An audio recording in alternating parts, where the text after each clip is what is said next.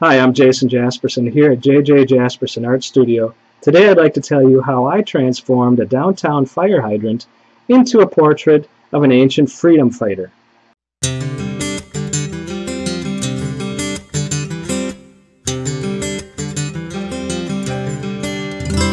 Armed with enamel paint, an approved concept, and some rocks for keeping my stuff from blowing away, I embarked on a journey of transformation. Fire hydrants from all over downtown New Ulm were prepared for a variety of artists with a pale yellow priming. I was told the colored disc facing the street, in my case green, is to be untouched as it indicates available water pressure. While rummaging through the paint supplies, I refound a can of silvery enamel auto paint from the 1960s it provided a nice neutral tone with a metallic sheen. The metallic sheen would lead well into my subject, New Ulm's favorite hammered copper defender of freedom, Hermann the German. If you don't know his story, it's pretty interesting stuff. Imagine George Washington, combined with Braveheart, taking a stand against the Roman army's advance into northern Europe.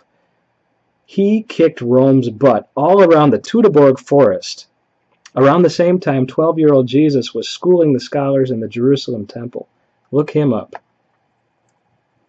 After allowing the silver to dry for a day, I loaded up my bike bucket with containers of primary colors and a number 8 filbert bristle brush.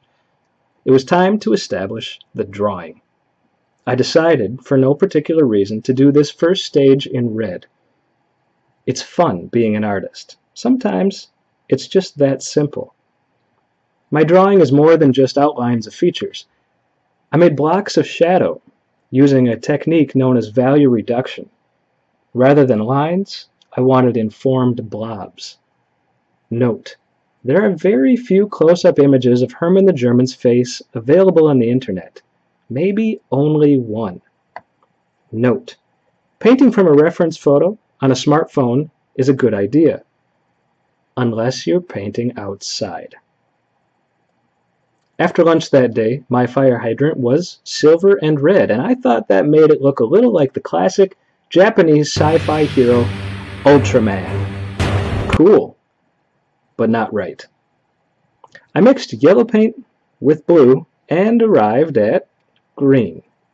Green was a good idea because it counteracts red and reminds us of Hermann's lovely sage-colored patina. I only brought green and a small nylon filbert with bristles about the size and shape of my small fingernail. It seemed to me that the red should peek through, but the green should establish a tone. Vertical stripes provided a nice solution that also referred to traditional engraving methods. Bonus historical reference.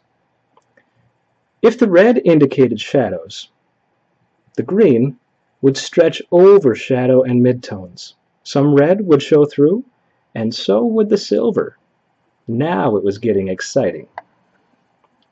Having an appointment with the KUIC news crew on Monday, I decided to take the, week, the weekend off.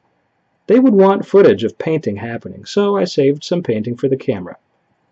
I arrived in time to set up and start painting the super dark areas with black stripes. Adding the black was like adding the bass to the choir. The black lines gave a stronger sense of depth and clarity. Nice. The KUIC footage and interview happened during the black paint.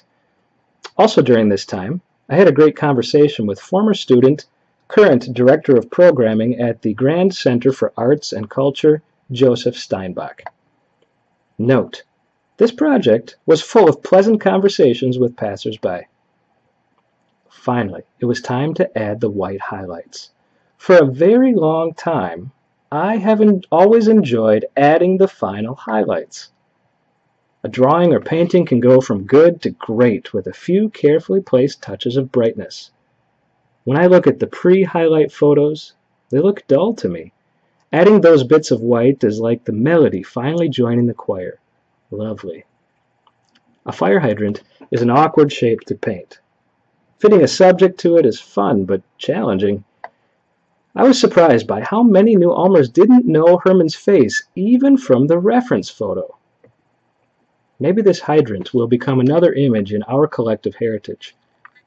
For those who Just can't get it. I've left his name on top of his helmet. My name, too.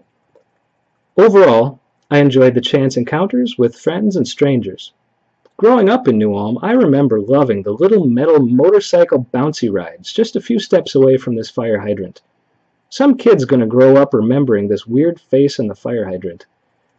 I hope it doesn't make any nightmares. Hail Hydrant.